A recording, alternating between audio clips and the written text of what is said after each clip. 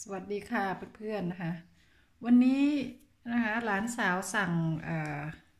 ยามาจากที่บ้านนะคะสั่งยามานะคะก็ค่าส่งก็แพงนะแพงแต่ก็คุ้มนะคะก็จะบอกว่าคุ้มก็ไม่คุ้มก็ว่าหาซื้อที่นี่ไม่ได้นะคะมาดูนะคะมีอะไรบ้างคะก็ก็จะมีเป็นน้ำมันนวดของเราเราก็สั่งเกลือมาด้วยนะคะนี่ค่ะมีน้ำมันนวดค่ะใช้แล้วหอมมากเลยนะมาดูว่ามีอะไรบ้างนะคะ นี่นะคะก็เป็นยาแอนตาซีนนะคะยาแอนตาซีนนะคะแอนตาซีนแล้วก็มีเอ่ออะไรอะ่ะมียาดมนะคะมียาดม แล้วอันนี้ก็จะเป็นยายาเขียวตาไปโพก็จะเป็นยาเกี่ยวกับแก้ร้อนในค่ะใครรู้จักบ้างคะยาแก้ร้อนใน เป็นแบบนี้เลยยาแก้ร้อนใน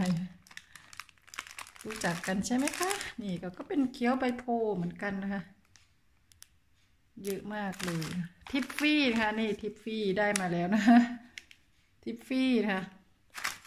แล้วก็แอนตาซีนนะนี่แอนตาซีนอีกแผงหนึ่งนะไม่ใช่อีกห่อหนึ่งอีกแพ็คหนึ่งค่ะ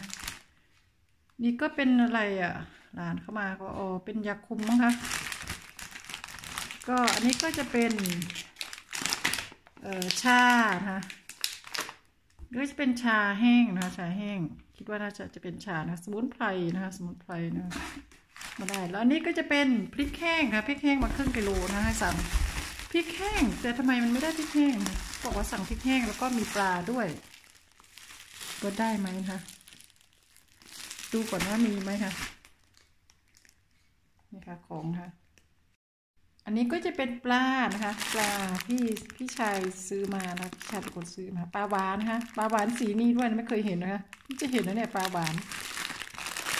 นี่ก็จะเป็นอุ้ยตอนนี้ลาเหมือนลามันจะขึ้นนะเนี่ยคล้ายๆลาจะเลยเนี่ยปลาแห้งค่ะปลาที่เขาที่มานะแต่ละอย่างมันก็แพงๆกันนะนี่พริกแห้งนะคะพริกแห้งครึ่งกิโลนะถึงหรือเปล่ามันรู้ครึ่งกิโลเนี่ย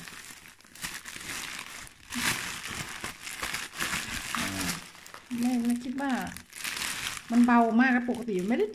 ขนาดนี้ค่ะครึ่งกิโลไม่ใช่แน่ๆเลยเนี่ยครึ่งกิโลปกติไม่ต้องเยอะกว่านี้ค่ะพริกแห้งครึ่งกิโลค่ะ ก็ได้แค่นี้นะคะ ประมาณนี้นะคะนี่